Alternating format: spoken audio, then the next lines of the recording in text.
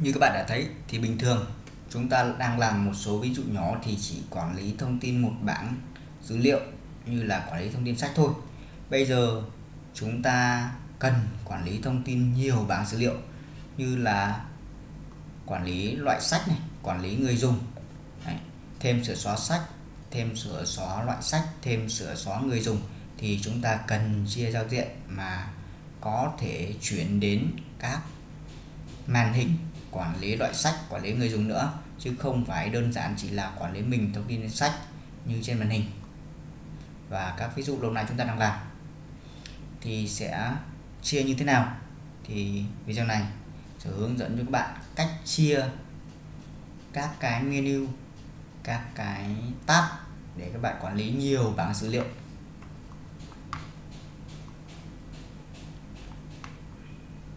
Cách một thì chúng ta sẽ sử dụng thuộc tính control, đấy chính là tab control. Đây, đang ví dụ cho bạn ở trong cái project tab control demo. Đầu tiên, ở trên màn hình main window.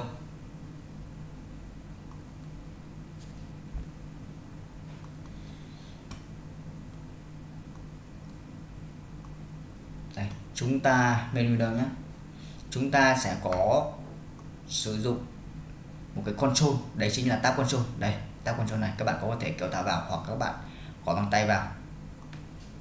Đây, trong tab control các bạn ý này, trong có tab control sẽ có các cái tab item. Đây đây là tab item sách, đây là tab item loại sách, đây là tab item người dùng. Đây, thì đang chia tab item header bằng sách. Này, chiều cao, chiều rộng. Để các bạn chú ý này. Trong tab item sách thì, đây đây là tab item sách này. Thì khi kích vào tab item sách thì trong tab item sách chúng ta lại cần chia thành các cái stack. Đây đang sử dụng stack panel hoặc các bạn dùng grid hoặc các panel khác đều được. Đây đang sử dụng stack panel này. Đây rồi. Như trong tab item loại sách này. Viết một cái text block cho các bạn hình dung ra được. Đấy. quản lý loại sách.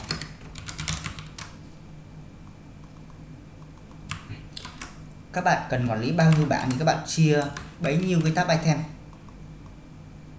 Quản lý người dùng đi rồi, phải chạy ứng dụng.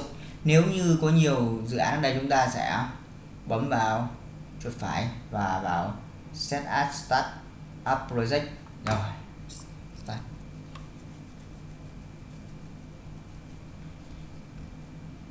rồi, đây, như các bạn đã thấy, code của chúng ta có ba tab item. Tab item thứ nhất, sách thì chúng ta đã code được cái gì? Trong đây có một cái text stack panel text block data grid đây các cố tình đây. Sau đấy sang tab loại sách. Chúng ta thấy này, chuyển sang tab loại sách thì sẽ hiển thị nội dung ở trong tab item header bằng loại sách. Đây, đang có một cái text block. Đây đây đây đây.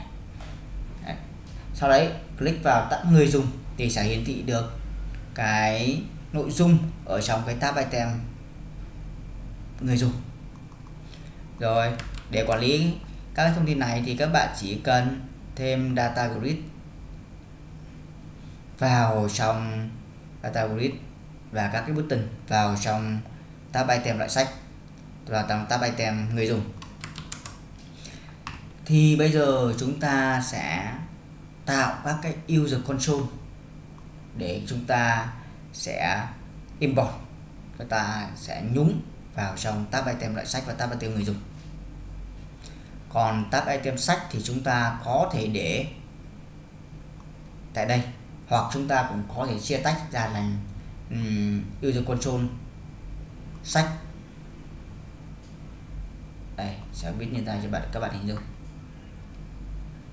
Rồi tại tab control demo chuột phải add new folder. Các bạn đặt tên là tab đặt tên là control mục đích để chúng ta gom nhóm các cái user control vào đây. Các bạn bấm vào chuột phải các bạn add user control. Đây, đây add user control. Thì ở đây sẽ chia thành đặt tên là loại sách. User user control. Add. Rồi sẽ tạo thêm một cái user control đấy là chú ý nhá các bạn. Kích chuột vào control mà các bạn thêm để cho nếu như chúng ta nhiều control thì nó không bị tràn ra ngoài mà chỉ trong cái folder control thôi. Sách này. Người dùng.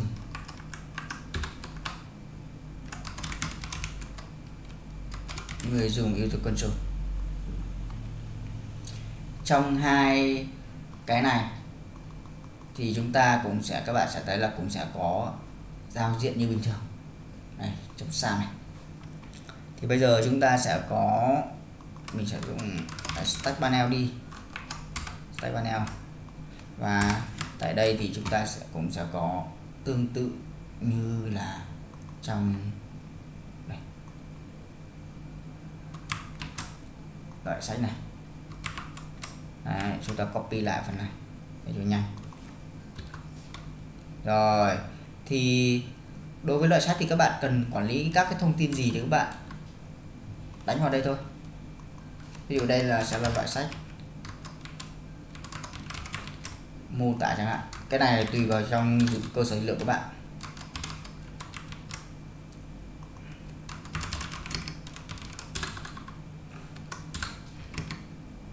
mô tả mô tả ok rồi rồi. Loại sách. Quản lý loại sách. Quản lý loại sách. Ok.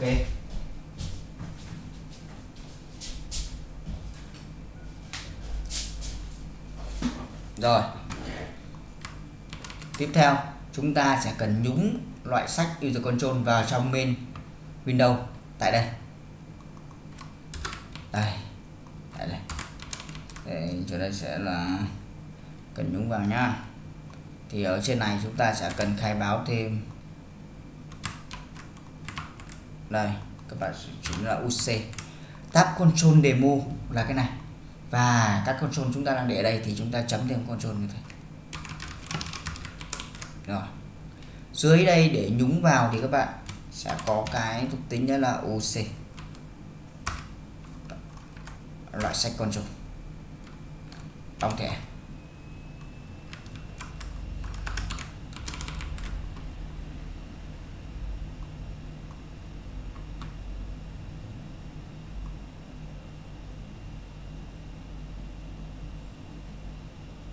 Ok.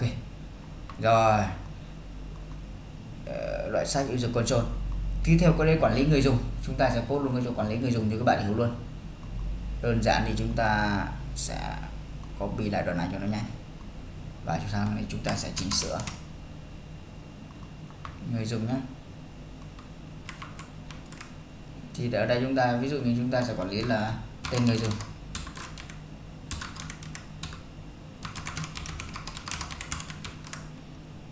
Tên người dùng.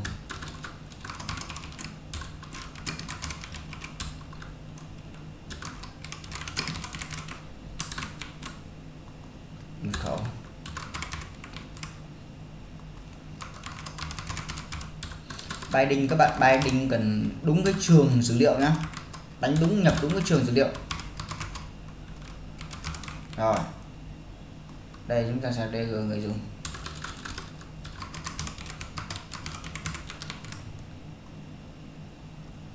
Có nhiều trường dữ liệu các bạn thêm. Thì ở đây đang demo thì sẽ làm nhanh cho các bạn thôi.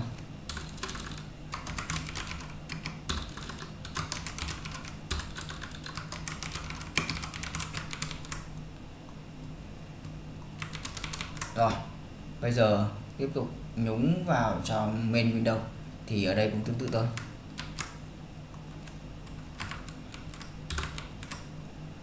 Đây là người dùng user control. Này cách chúng ta nhúng vào nhé chạy lên.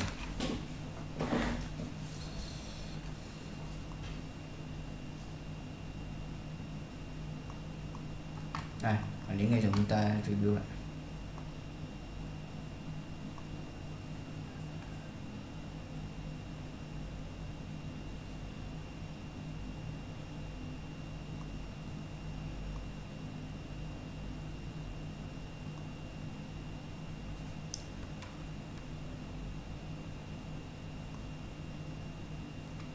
Trong người dùng.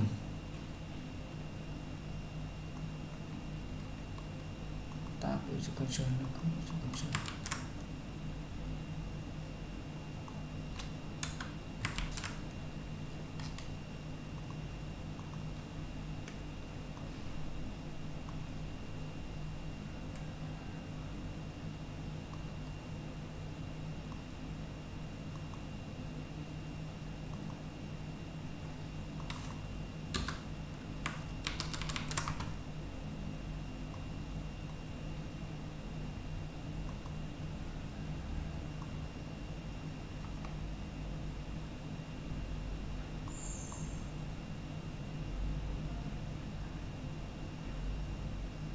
Rồi, ok. Chúng ta review lại thành công rồi. Các bạn chú ý này, các bạn phải thêm cái thuộc tính này để chúng ta import được các cái user control từ cái thư mục control. Chú ý. Rồi, chúng tab item này, chúng ta đã nhúng thêm UC loại sách user control. UC loại người dùng user control đây ở trong tab loại sách này chúng ta sẽ có các bạn loại sách này. Đấy, người dùng này. Đấy, các bạn sẽ thấy mỗi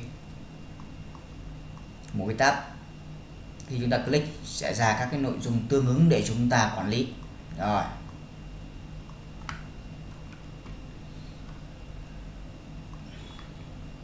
Trong loại sách user control thì cũng có loại sách user control.sam.cs phần này thì để chúng ta cốt thôi phần này để chúng ta cốt như bình thường thôi.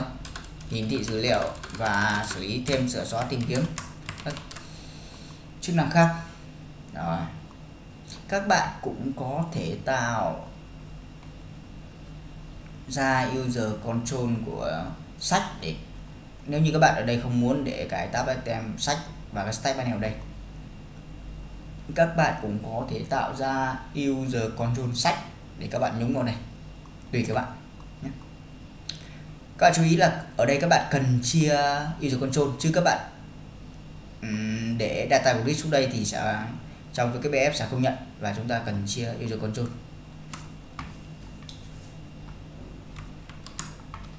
Rồi.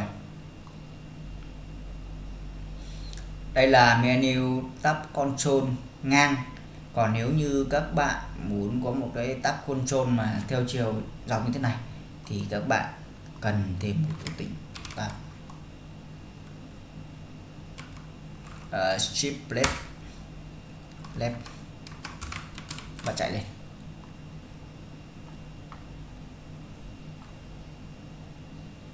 Đấy các bạn sẽ thấy là lại có một cái theo chiều dọc nhưng chú ý khi chỉnh theo chiều dọc thì chúng ta cần căn chỉnh các cái thuộc tính width hay của data grid và các cái thuộc tính trong này cho Red Bull với nhiều loại màn hình nhiều loại kích thước khác nhau. Đấy, đây là menu dọc. Nhá nếu như các bạn ở đây các bạn muốn chia luôn các con sách thì các bạn sẽ áp vào đây. User control chúng ta sẽ đặt lại sách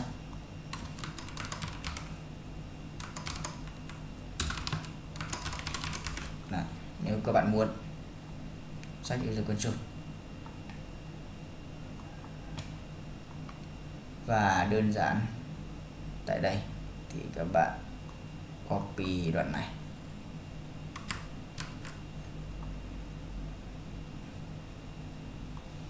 Các bạn vào sách user control các bạn cho vào đây. Và tại main window thì các bạn cũng sẽ tương tự các bạn nhúng vào. Mục đích của user control là chia nhỏ chia nhỏ các thành phần, thành các cái thành phần nhỏ hơn. Ờ, Ở sách user control. Build lại dự án. Ok. Xóa thuộc tính này đi, sẽ là mặc định là menu ngang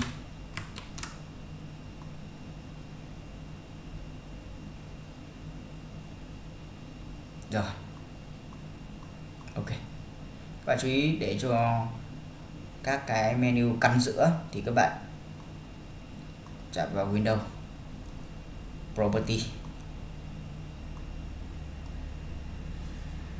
Property. Windows State, các bạn cho Center. Windows Startup Location Center Screen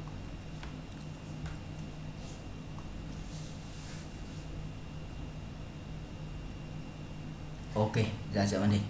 Đối với những cái thông tin về quản lý loại sách nếu như ít trường dữ liệu thì các bạn có thể uh, trong màn hình này các bạn có thể thiết kế luôn thêm sửa xóa trong màn hình này luôn. Ví dụ như là ở đây các bạn thêm cho hai ô text box là loại sách và mô tả thôi. Và ở đây có một nút thêm thì các bạn bấm vào thì các bạn sẽ thêm vào dưới data của luôn chứ các bạn không cần bấm vào chữ thêm mở ra một form mới. Đấy nhá. Nếu như đáng nào dữ liệu mà ít thông tin thì chúng ta cần sẽ thiết kế như vậy thôi, để cho nó đơn giản. Ví dụ chỗ này còn lấy loại sách này, hướng dẫn đến các bạn này. Stack panel. Ở đây sẽ có một cái text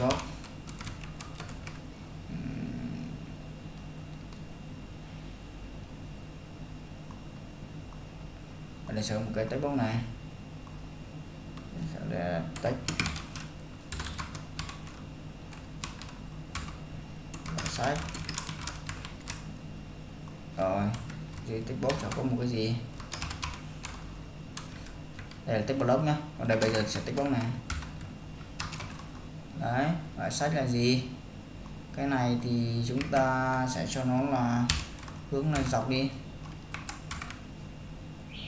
Rồi, cái này các bạn có thể thêm cho nó một cái width.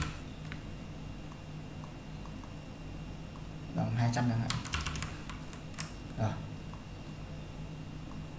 copy. Mô tả.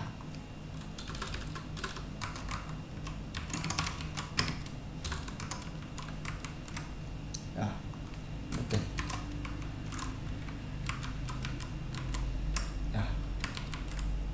cho một cái margin cho nó cách ra nhé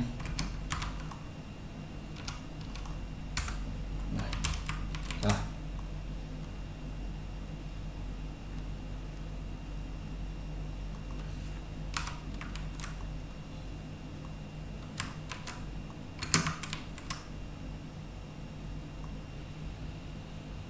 develop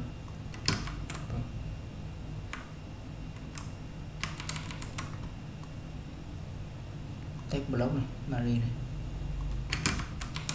Rồi.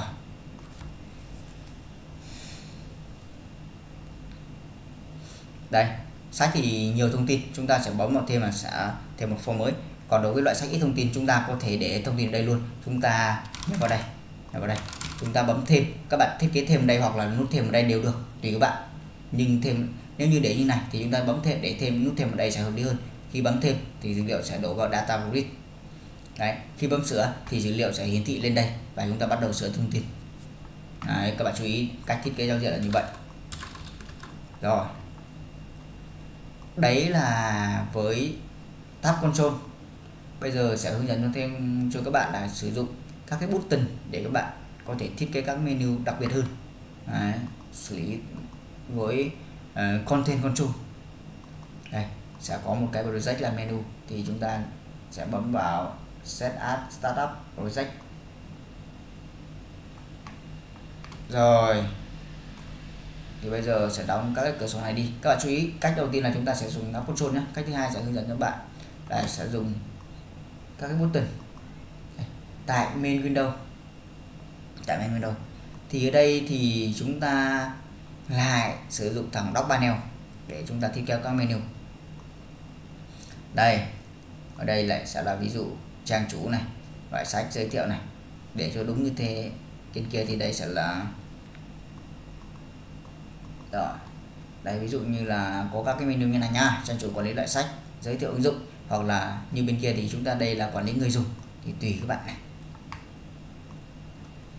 Nếu như các bạn muốn giống như trên kia thì các bạn đây này. người dùng. Quản lý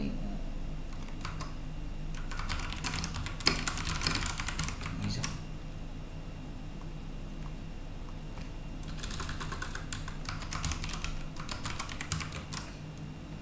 về tên này trang chủ trang chủ. Thì mặc định trang chủ thì để là quản lý loại sách. Hiển thị đó.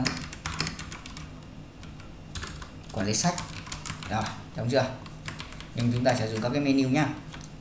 Dock panel, chấm dock bằng left ở bên trái này 200 này. Các bạn chú ý này, phần này sẽ là dock panel, stack panel dock panel này. Phần bên bên thân sẽ, chúng ta có một cái control. Đấy chính là content control đấy và đặt tên cho nó là main content.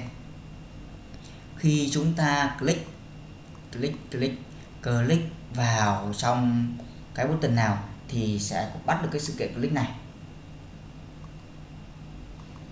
Này, tại control nó set thì ở đây này đây đổi tên này nhá.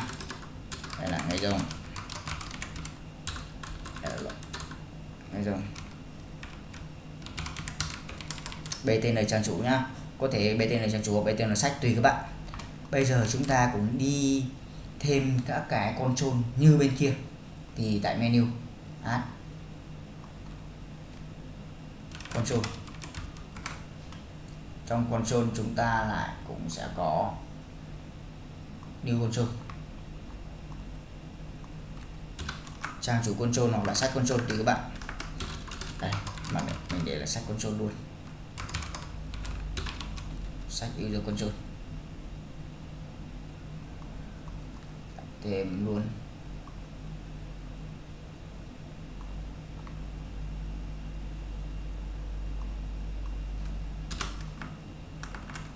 Loại sách. User console thêm tiếp. Người dùng user control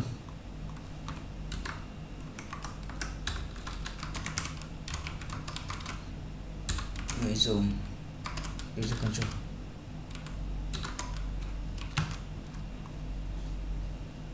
Rồi. Rồi tại đây thì mỗi cái control thì chúng ta để cho một cái text block để chúng ta nhận diện được control đấy là control gì. À, text bằng đây là người dùng mẹ à, nội dung nội dung nội dung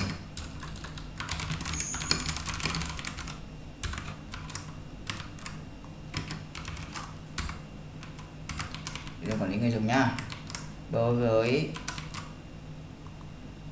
sách này đây sẽ là nội dung quản lý sách loại sách.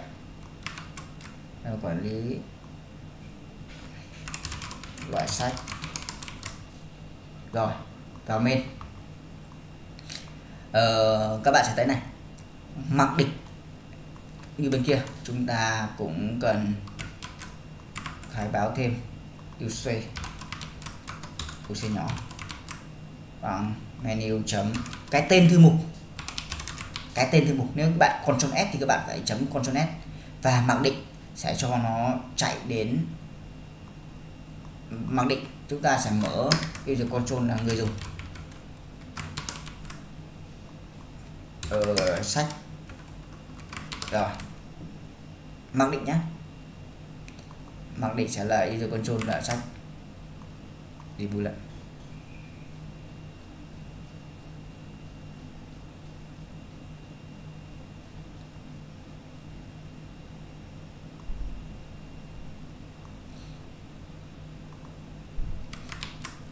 Lỗi là do này, đổi tên đến này.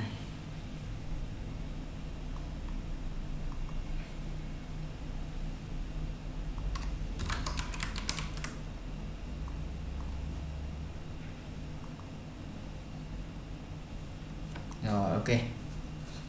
Đây, mặc định sẽ cho hiển thị user control.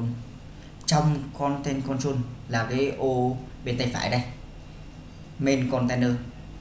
Mon, main content, chúng ta sẽ để là sách user control và chúng ta chạy lên. Mặc định sẽ hiển thị là cái nội dung của quản lý sách. Là chúng ta dưới đây sẽ có data grid và các button. Thì bây giờ chúng ta kích sang bên này.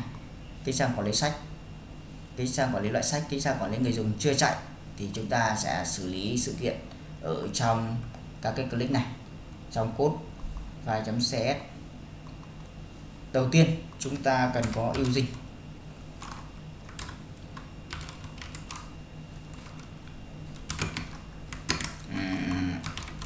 menu chấm tên thư mục.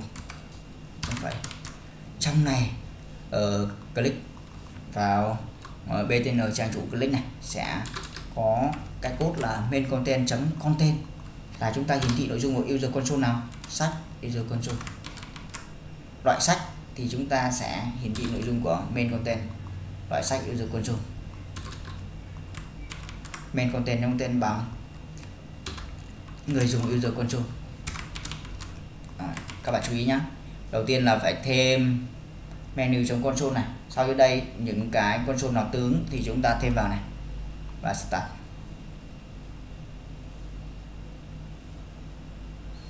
Đây nội dung quản lý sách này. Bấm vào quản lý loại sách, sẽ hiển thị nội dung quản lý loại sách. Người dùng sẽ vào nội dung quản lý người dùng. Đấy, đây là cách chia sử dụng các button và sử dụng thuộc tính, đấy là content control. Thì các bạn có thể áp dụng cách này để các bạn chia menu như vậy là đã hướng dẫn cho các bạn hai cách. Một là các bạn sử dụng tab console hai là bạn sử dụng các button và các cái content console thì trong bài tập nâng cao của bạn, bài tập lớn của bạn, thì các bạn quản lý nhiều bảng dữ liệu trong SQL Server thì các bạn sẽ sử dụng hai cách này để các bạn quản lý. Hoặc một, có một số cách sẽ hay hơn và giao diện đẹp hơn thì các bạn sẽ nghiên cứu để các bạn thực hiện.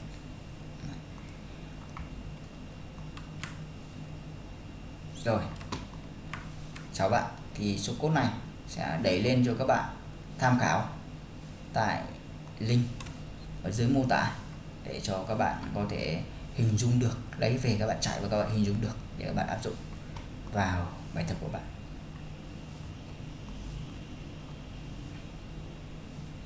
Cách lấy số code này thì cũng khá là đơn giản thôi. Đây, ví dụ cho bạn luôn. Sử dụng GitHub sẽ để cho bạn cái link đấy chính là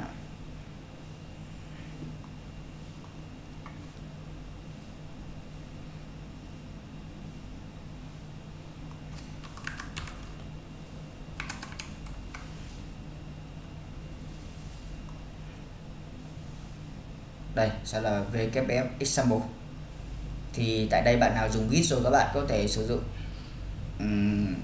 câu lệnh ờ, git clone về, để các bạn clone dự án về và các bạn xem. Bạn nào mà chưa biết dùng git clone, chưa tải git thì các bạn sẽ bấm vào code và các bạn download zip về. Đây.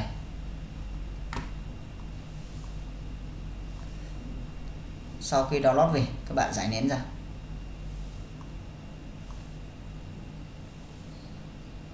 Đây wbf example thì tại đây, thì các bạn sẽ chạy wbf example.ln là các bạn có thể xem code.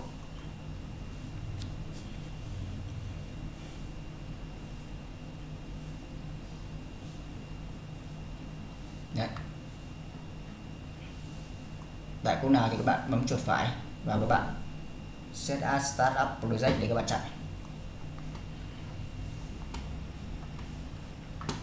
okay.